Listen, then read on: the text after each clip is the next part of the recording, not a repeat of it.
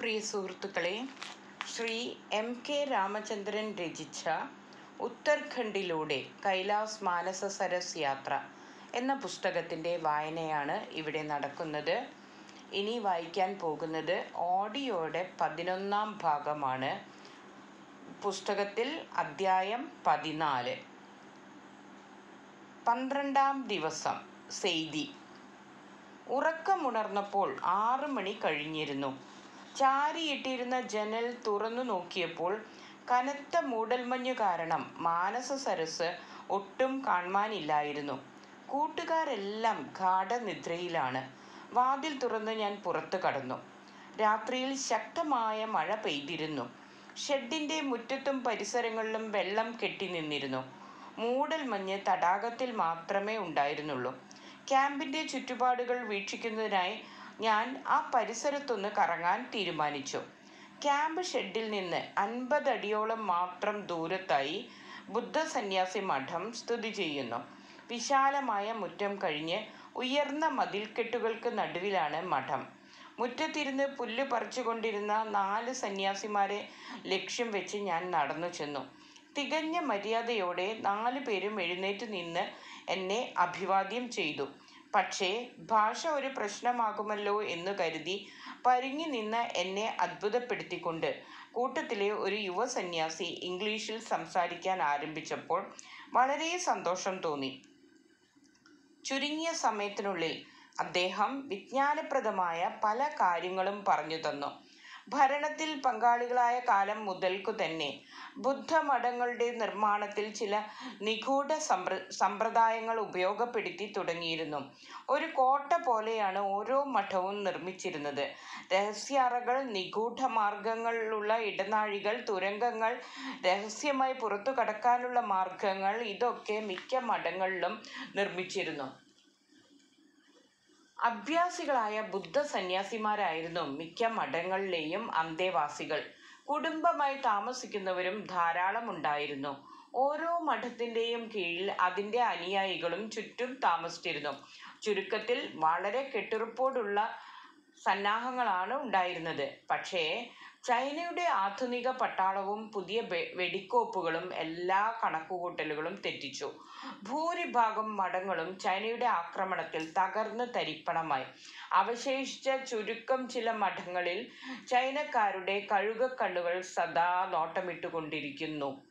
വേറൊരു മാർഗവും ഇല്ലാത്തതിനാൽ ബുദ്ധസന്യാസിമാർ ഇരുളടഞ്ഞ മഠങ്ങളിൽ ഒതുങ്ങിക്കഴിയുന്നു തലസ്ഥാന നഗരമായ ലാസയിൽ നിന്നും മറ്റു ചില പ്രവിശ്യകളിൽ നിന്നും ബുദ്ധമഠങ്ങളിലേക്ക് ധനസഹായങ്ങളുണ്ട്. ധാരാളം കൃഷിസ്ഥലങ്ങളും മറ്റു വരുമാന മാർഗങ്ങളുള്ള ബുദ്ധമഠങ്ങൾ തിബത്തിൽ ഇപ്പോഴും ഉണ്ട്. ചൈനയിൽ കമ്മ്യൂണിസ്റ്റ് ഭരണം ഒരു നാൾ അവസാനിക്കുമെന്നും അങ്ങനെ തങ്ങൾക്ക് നഷ്ടപ്പെട്ട സ്വാധീനം വീണ്ടെടുക്കാനാകുമെന്നും ബുദ്ധമതക്കാർ ശുഭാപ്തി വിശ്വാസത്തോടെ കാത്തിരിക്കുന്നു. മാനസ സരോവറിനെ കുറിച്ചും കുറച്ചധികം വിവരങ്ങൾ അദ്ദേഹം പറഞ്ഞു തന്നു. ഏഴു മണിക്കെങ്കിലും യാത്ര തുടർന്നാലേ അഞ്ച് മണിയോടുകൂടി സെയ്തി ക്യാമ്പിൽ ചെന്നെത്താൻ കഴിയൂ എന്ന് അദ്ദേഹം മുന്നറിയിപ്പ് നൽകി. മുപ്പത്തഞ്ച് കിലോമീറ്ററോളം ദൈർഘ്യമുള്ള ഈ യാത്രക്കിടയിൽ തണുപ്പേറിയ സ്ഥലങ്ങൾ ധാരാളമുണ്ടെന്നും അദ്ദേഹം പറഞ്ഞു. കൂട്ടുകാർ ഉണർന്നു കഴിഞ്ഞിരുന്നു. ചോലയിൽ പോയി പ്രഭാതകൃത്യങ്ങളും ദേഹശുദ്ധിയും കഴിച്ചതിന് ശേഷം ഏഴ് മണിയോടുകൂടി ഞങ്ങൾ നടത്തം ആരംഭിച്ചു. ഒരു ചായ കുടിക്കാൻ പോലും മാർഗമില്ലായിരുന്നു. മിസ്റ്റർ രൂപേന്ദ്രന് നേരിയ തോതിലുള്ള ദേഹാസ്വസ്ഥ്യങ്ങൾ അനുഭവപ്പെട്ടത് ഞങ്ങളെ വിഷമിപ്പിച്ചു.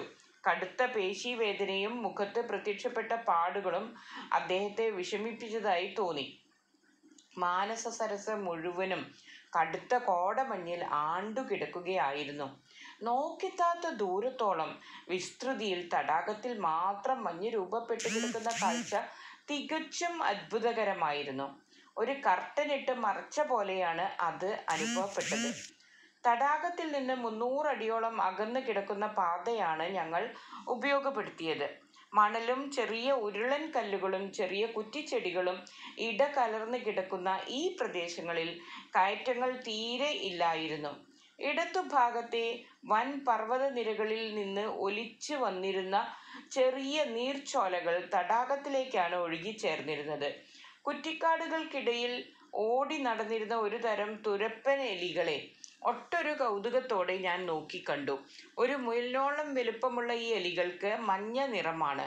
മഞ്ഞു പ്രദേശങ്ങളിൽ ജീവിക്കുന്നത് കൊണ്ടാകാം ഇത്തരത്തിലുള്ള ഒരു രോമക്കുപ്പായം പ്രകൃതി ഈ ജീവികൾക്ക് നൽകിയതെന്ന് തോന്നി. രണ്ട് മണിക്കൂറിലധികം നടന്നു കഴിഞ്ഞപ്പോൾ വഴി തടാകത്തിനോട് കൂടുതൽ അടുത്ത പോലെയായി. തുടർന്നുള്ള യാത്ര തടാകക്കരയിലൂടെ മാത്രമായി മാറി. ഭംഗിയേറിയ മിനുസമുള്ള ചെറിയ ഉരുളൻ കല്ലുകളായിരുന്നു തടാകക്കരയിൽ മുഴുവനും.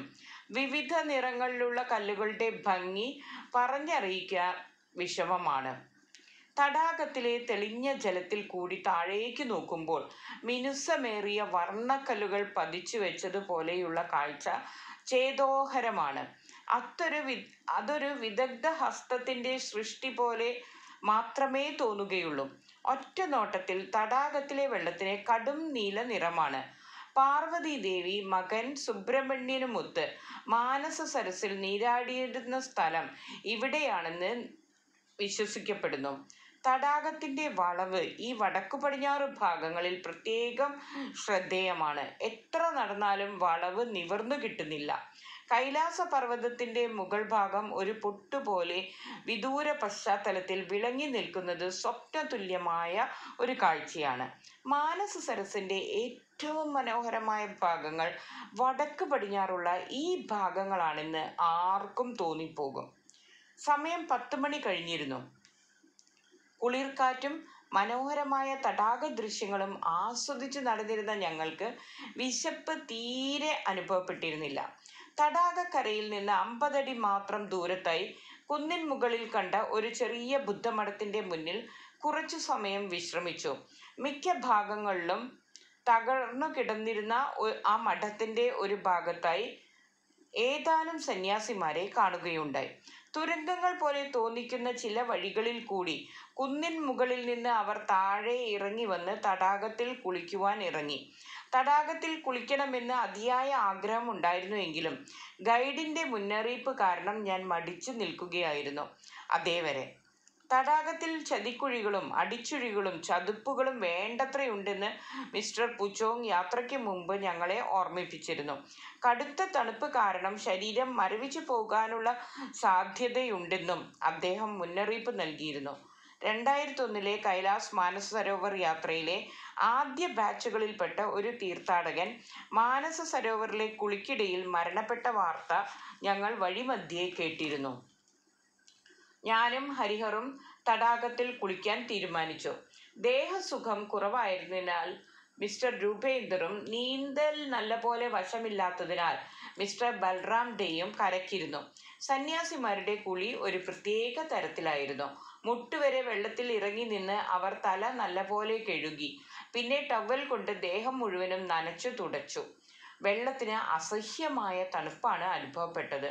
ഓരോ അടിയും അതിസൂക്ഷ്മതയോടെ വെച്ച് ഞങ്ങൾ കഴുത്തുവരെ വെള്ളത്തിൽ ഇറങ്ങിച്ചെന്നു. ഒരു റബ്ബർ ഷീറ്റിൽ ചവിട്ടുന്നത് പോലെ താഴുകയും പൊന്തുകയും ചെയ്യുന്നത് വല്ലാത്തൊരു അത്ഭുതമായിട്ടാണ് എനിക്ക് അനുഭവപ്പെട്ടത്. ഒരു അപകട സാധ്യത മനസ്സിൽ തോന്നിയ ഉടനെ തന്നെ ഞാൻ ഹരിഹറിന്റെ കൈപിടിച്ച് പിന്നോക്കം അതിവേഗം നീങ്ങി. മുട്ടുവരെ വെള്ളത്തിൽ നിന്ന് ഒന്ന് മുങ്ങിയ ശേഷം കരയ്ക്ക് കയറി കൈലാസനാഥനെ കുറച്ചു നേരം ധ്യാനിച്ചു നിന്നു. ലഘു ഭക്ഷണത്തിനു ശേഷം കുറച്ചു നേരം അവിടെ വിശ്രമിച്ചു. മിസ്റ്റർ രൂപേന്ദ്രന്റെ അസുഖം കൂടിക്കൊണ്ടിരുന്നത് ഞങ്ങളെ അസ്വസ്ഥരാക്കി. പേശി വേദനയും മുഖത്തെ പാടുകളും കടുത്ത നീർവീഴ്ചയുടെ ലക്ഷണങ്ങളായിരുന്നു. എന്ന് വേണം കരുതാൻ. നേരിയ തോതിൽ പനിയും തുടങ്ങിയതോടെ അദ്ദേഹത്തിന് നടക്കാനും വേണ്ടത്ര വേഗത കിട്ടാതായി.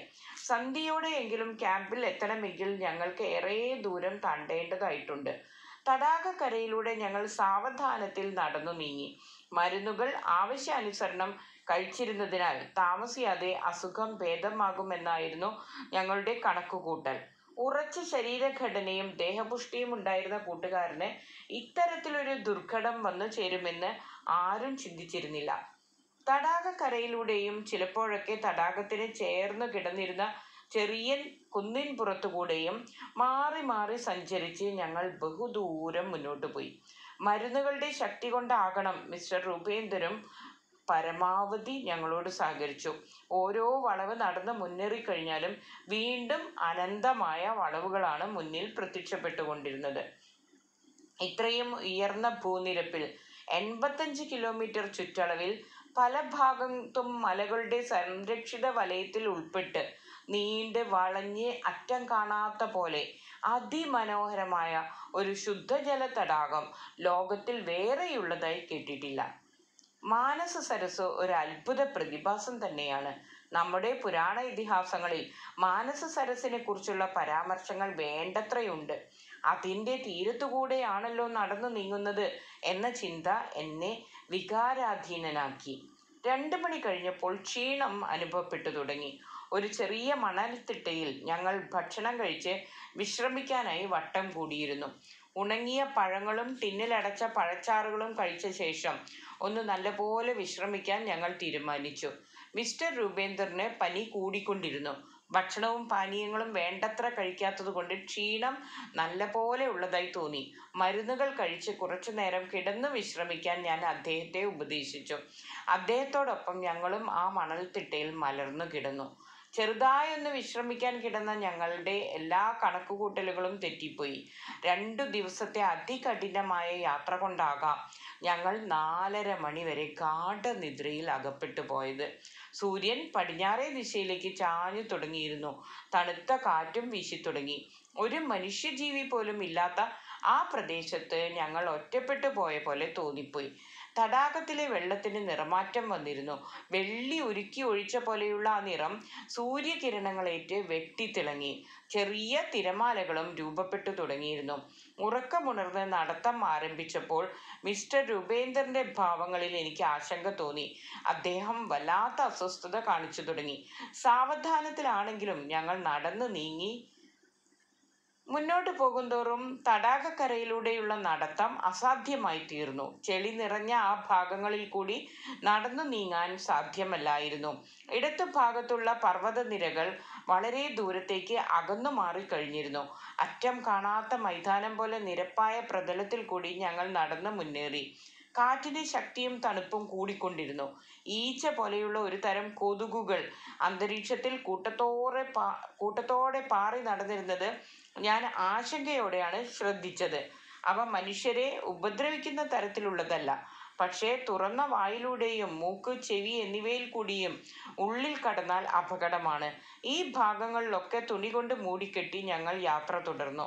മിസ്റ്റർ ബൽറാം ദയുടെ ചുമലിൽ കൈ ഊന്നി നടന്നിരുന്ന മിസ്റ്റർ രൂപേന്ദർ ഒരു ഞെരക്കത്തോടെ താഴെ കുഴഞ്ഞു വീണത് പെട്ടെന്നായിരുന്നു. ഞങ്ങൾ മൂവരും അക്ഷരാർത്ഥത്തിൽ പരിഭ്രമിച്ചുപോയി. കടുത്ത പനി ഉണ്ടായിരുന്ന അദ്ദേഹത്തിന്. ബാഗ് തലയിണയാക്കി വെച്ചു കൊടുത്ത് ഞങ്ങൾ സുഹൃത്തിനെ മലർത്തി കിടത്തി. നെറ്റിയിൽ തുണി നനച്ചിട്ട ശേഷം മിസ്റ്റർ ഹരിഹർ തന്റെ മരുന്നു ശേഖരത്തിൽ നിന്ന് വീര്യം കൂടിയ ചില ഗുളികകൾ രോഗിയെ കൊണ്ട് കഴിപ്പിച്ചു. രോഗങ്ങളെക്കുറിച്ചും അതിനു പറ്റിയ മരുന്നുകളെക്കുറിച്ചും മിസ്റ്റർ ഹരിഹറിന് ഒരുവിധം പരിജ്ഞാനം ഉണ്ടായിരുന്നു. ഞങ്ങൾ മിസ്റ്റർ രൂപേന്ദറിന് ചുറ്റും കൂടിയിരുന്നു.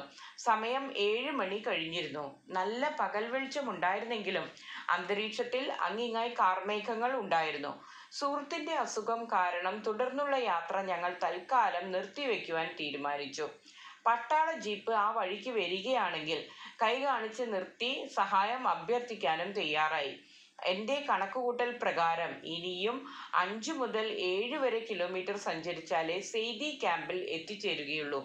രോഗിയായ സുഹൃത്തിനെയും കൊണ്ട് ഇത്രയും ദൂരം സഞ്ചരിക്കുക എന്ന കാര്യം ചിന്തിക്കാൻ കൂടി വയ്യ.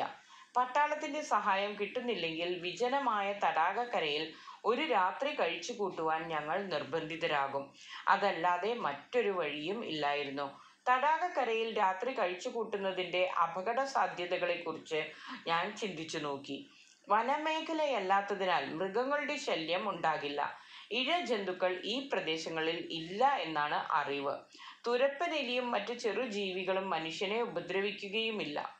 കള്ളന്മാരുടെ ശല്യത്തെക്കുറിച്ചാണെങ്കിൽ മനുഷ്യവാസമില്ലാത്ത ഈ പ്രദേശത്ത് അതിനുള്ള സാധ്യതയുമില്ല. പിന്നെ പ്രകൃതിയുടെ ഭീഷണിയാണ്. മഴ പെയ്താൽ അതിന് പരിഹാരം മഴക്കോട്ട് തന്നെയാണ്. തടാകത്തിലെ അമാനുഷിക സാന്നിധ്യത്തെക്കുറിച്ച് കാലത്ത് കണ്ട ബുദ്ധസന്യാസി പറഞ്ഞ ചില സൂചനകളെ പറ്റിയാണെങ്കിൽ അതിന് പരിഹാരം ചെയ്യാൻ നിസ്സാരനായ മനുഷ്യരെ കൊണ്ട് എങ്ങനെ കഴിയും?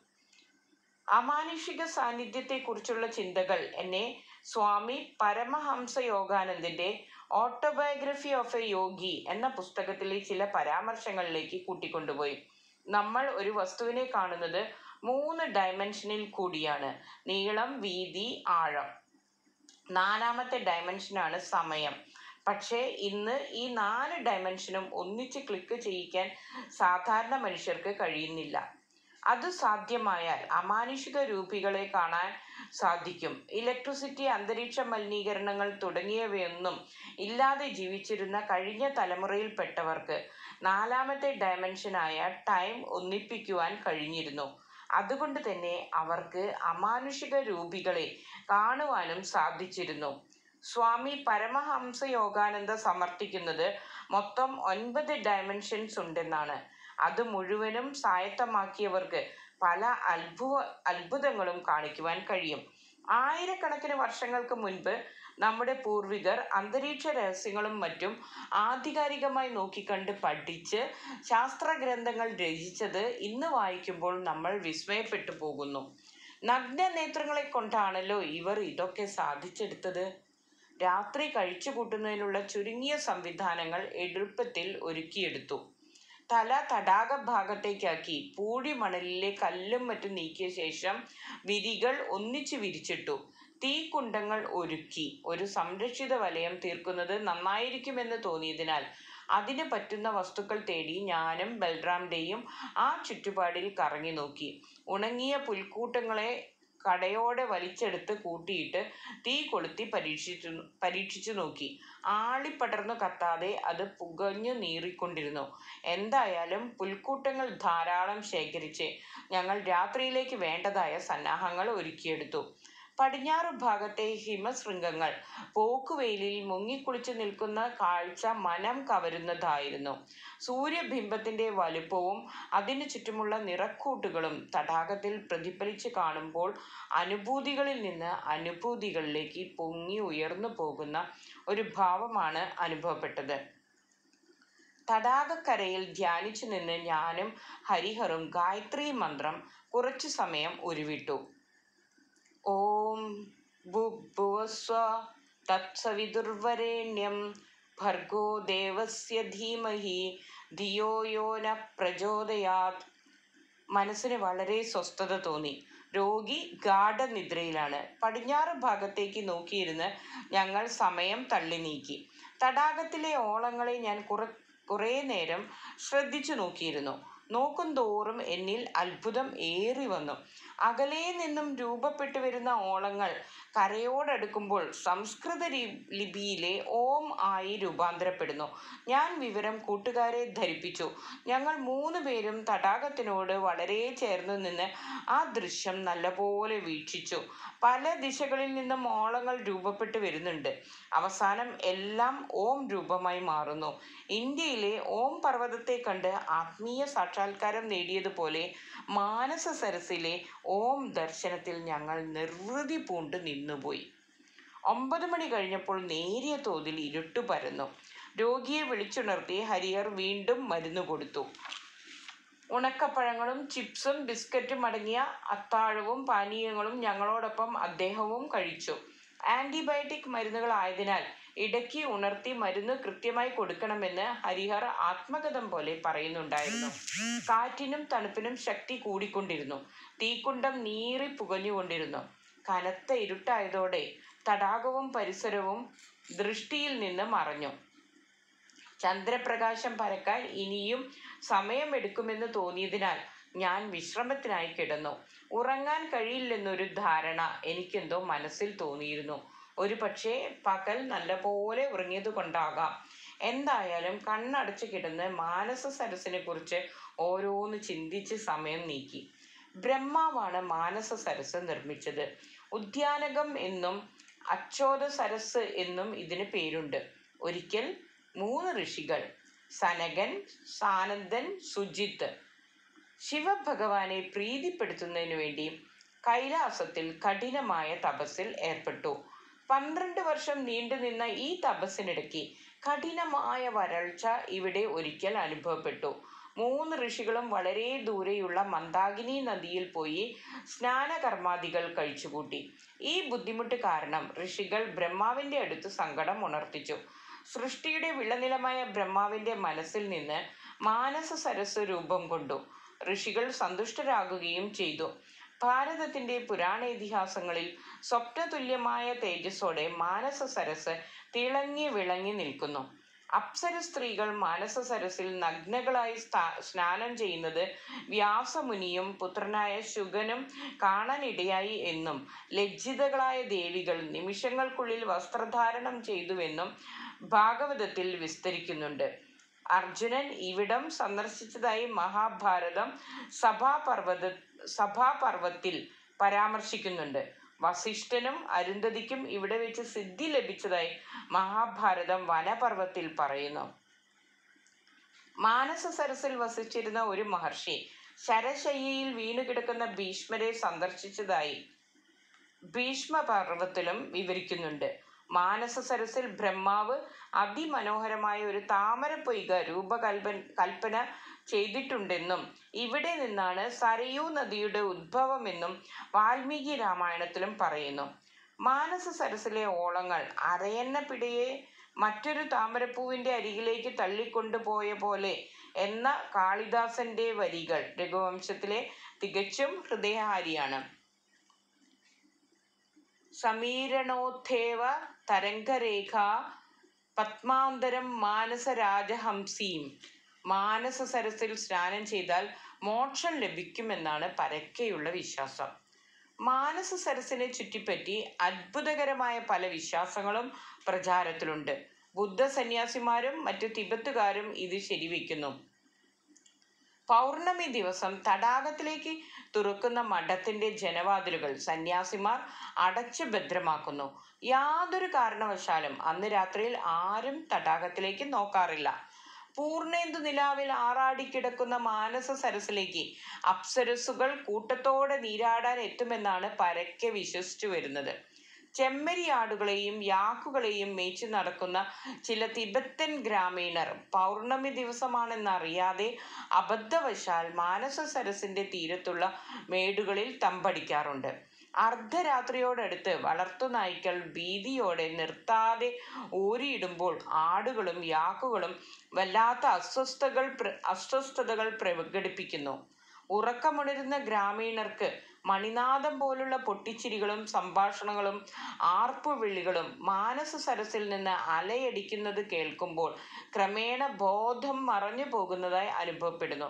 അതിരാവിലെ ഉറക്കമുണർന്ന് ശീലമുള്ള ഈ ഗ്രാമീണർ ഇത്തരം ദിവസങ്ങളിൽ മധ്യാഹ്നം വരെ തളർന്ന് ബോധമില്ലാതെ കിടക്കുകയാണ് പതിവെന്ന് സ്ഥിരീകരിച്ച റിപ്പോർട്ടുകൾ പറയുന്നു. വളർത്തു മൃഗങ്ങളും തങ്ങളുടെ യജമാനന്മാരെ പോലെ ബോധമറ്റ് കിടക്കുന്ന രംഗം അത്ഭുതവും അത്ഭുതവും ഭീതിയും കലർന്ന ഒരു വികാരത്തോടു കൂടി മാത്രമേ ചിന്തിക്കാൻ കഴിയുന്നുള്ളൂ. മാനസ സരസിലെ ഒരു അത്ഭുത പ്രതിഭാസമാണ് ബ്രഹ്മത്തിന്റെ ദിവ്യ വെളിച്ചം the divine light of Brahma ഇരുണ്ട നിറത്തിൽ കിടക്കുന്ന തടാകത്തിലെ ജലത്തിൽ ആകാശത്തു നിന്നും ഒരു ദിവ്യപ്രകാശം നീളിച്ചു കിടക്കുന്നത് പല ബാച്ചുകളിലെയും തീർത്ഥാടകർ വിസ്മയത്തോടെ നോക്കിക്കണ്ടതായി സാക്ഷ്യപ്പെടുത്തിയിട്ടുണ്ട്. അത്തരത്തിലുള്ള ഒരു ഫോട്ടോ ഞാനും കാണുകയുണ്ടായി. പന്ത്രണ്ട് മണി കഴിഞ്ഞപ്പോൾ പൂർണചന്ദ്രൻ ഉദിച്ചുയർന്നു. താരാനാഥന് അഭിവാദ്യങ്ങൾ അർപ്പിച്ചുകൊണ്ട് നക്ഷത്ര സമൂഹം വജ്രം പോലെ വെട്ടിത്തിളങ്ങി നിൽക്കുന്ന കാഴ്ച അവിസ്മരണീയമാണ്. താഴ്ന്നിറ താഴ്ന്നിറങ്ങി കിടക്കുന്ന ചക്രവാളത്തിൽ അസാധാരണ വലിപ്പമുള്ള അമ്പിളിയമ്മാവൻ നിലകൊള്ളുന്നത് കയ്യെത്താവുന്ന ദൂരത്തിലാണെന്ന് എനിക്ക് തോന്നി. പടിഞ്ഞാറ് ഭാഗം മുഴുവനും മഞ്ഞുമൂടി കിടക്കുന്ന കൊടുമുടികളാണ്. അതിനു താഴെ എന്നോണം മാനസ സരസ് നിലാവിൽ മുങ്ങിക്കുളിച്ച് നീണ്ട് പരന്ന് കിടക്കുന്നു. ആകാശം മുഴുവനും ഒരു കണ്ണാടിയിൽ എന്ന പോലെ തടാകത്തിൽ പ്രതിഫലിച്ചു കിടക്കുന്ന കാഴ്ച ചേതോഹരമാണ്. ചെമ്മൺ നിറം പൂണ്ട മൊട്ടക്കുന്നുകളും താഴ്ന്നും ഉയർന്നും കിടക്കുന്ന മേടുകളും മറ്റു ഭാഗങ്ങളിലും കാണാം. നിലാവെളിച്ചത്തിൽ മുങ്ങി നിൽക്കുന്ന ഇത്തരത്തിലൊരു പ്രകൃതി സൗന്ദര്യം ആദ്യമായിട്ടാണ് എനിക്ക് അനുഭവപ്പെട്ടത്. അന്തരീക്ഷത്തിന്റെ ആ നഗ്ന സൗന്ദര്യത്തിൽ ലയിച്ച് നിർവൃതി പൂണ്ടിരിക്കുമ്പോൾ എന്റെ ചുണ്ടിൽ തത്തിക്കളിച്ചത് വാത്മീകി രാമായണത്തിലെ പ്രകൃതി വർണനയാണ്. ചഞ്ചചന്ദ്രകരസ്പർശ ഹർഷോന്മീലിത താരക അഹോ രാഘവതി സന്ധ്യ ജഹാദി സ്വയമംപരം കിഷ്കിന്താകാന്ഡം മുപ്പതാം സർഗം നാൽപ്പത്തഞ്ചാം ശ്ലോകം. തടാകത്തിൽ കോടമഞ്ഞ് രൂപപ്പെട്ടു തുടങ്ങി. കാറ്റിനും ശക്തി കൂടി. തണുപ്പ് സഹിക്കാൻ പറ്റാത്ത തരത്തിലായി. തീക്കുണ്ടത്തിലെ നേരിയ തീയും താമസിയാതെ അണഞ്ഞുപോയി. സമയം രണ്ട് കഴിഞ്ഞിരുന്നതിനാൽ ഒന്ന് ഉറങ്ങാൻ വേണ്ടി കമ്പിളി കൊണ്ട് മൂടി പുതച്ച് ഞാൻ മലർന്നു കിടന്നു. ആറു മണിക്ക് ഹരിഹർ എന്നെ വിളിച്ചുണർത്തി. എഴുന്നേറ്റിരുന്ന എന്നെ മിസ്റ്റർ രൂപേന്ദ്രാണ് കുറച്ചകലെ നിന്ന് അഭിവാദ്യം ചെയ്തത്. അദ്ദേഹം തികച്ചും ഉന്മേഷവാനായി കഴിഞ്ഞിരിക്കുന്നു. ഇവിടെ ഈ അധ്യായം അവസാനിക്കുകയാണ്. അടുത്തത് അടുത്ത ദിവസം.